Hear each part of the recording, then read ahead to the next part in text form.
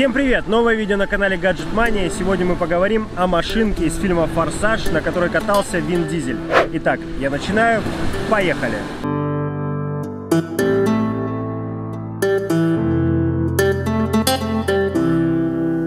Лето, солнце, море. Предложили прислать производитель таких машинок. Ссылочка будет, кстати, в описании. Стоит недорого для любителей коллекционных вещей.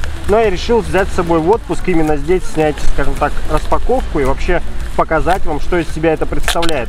На самом деле, в детстве, наверное, каждый из нас коллекционировал что-либо, либо машинки, либо киндер-сюрпризы, точнее игрушки. А, ну и, собственно, здесь именно машинка обещали, короче, как в фильме «Форсаж», именно как у Вина Дизеля был, по-моему, Dodge или какой-то Chevrolet Camaro. В общем, какая-то из этих. Хорошо упакована, как вы видите. Я уже вижу, что она голубого цвета. Я не могу открыть этот материал. Боюсь повредить саму машину. Но ничего страшного. Сейчас мы ее порвем. Опа! Видели? Вот это крутотень. Она такая, она реально такая натуральная. При этом она, друзья, скажу, металлическая. Колеса, соответственно, резиновые. Диски у нас пластиковые.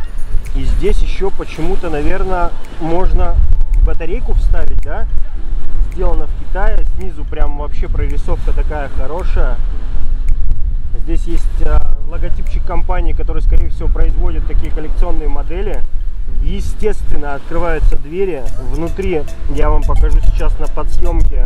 Вообще все круто. Кто знает, э, что это за модель, можете написать и проявить свое, скажем так, показать нам свое знание в этом вопросе.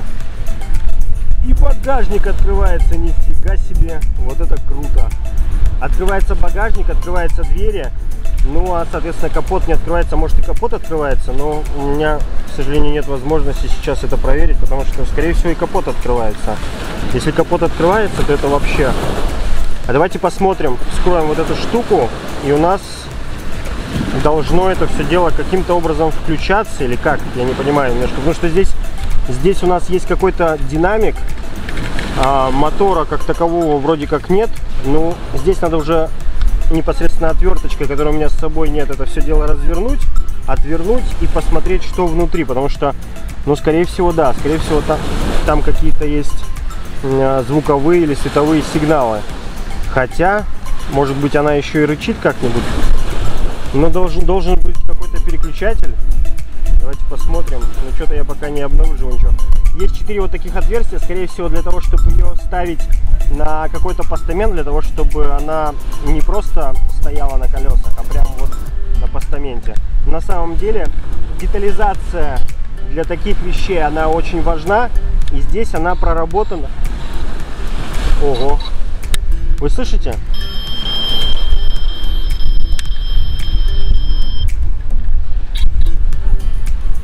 То есть у нас а, все сделано на этом, на автомате. Да, она просто проигрывает какие-то, то есть сама три звука, и у нас сзади стоп-сигналы, соответственно, загораются. А спереди и спереди. Не, ну прикольно вообще. Круто. Еще бы она каким-нибудь образом ехала, может быть она... А, да, у нее есть инерционная сила, то есть немножко откатить назад, то она непосредственно поедет вперед. Ну вот, наконец-то разобрался. Открывается у нас капот, то есть у нас открываются две двери, багажник и капот. То есть детализация максимальная. Для любителей таких штук вообще зачет.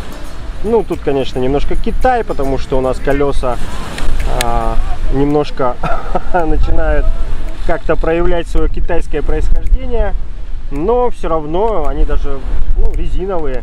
За стоимость данной модельки я считаю, что вполне оправдано.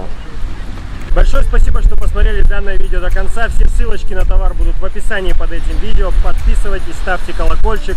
Пишите, что вы супергерой, если досмотрели до этого момента. Есть чат в Телеграме. Все подробные ссылки будут в описании под этим видео. Совсем скоро увидимся. Всего доброго. Пока-пока.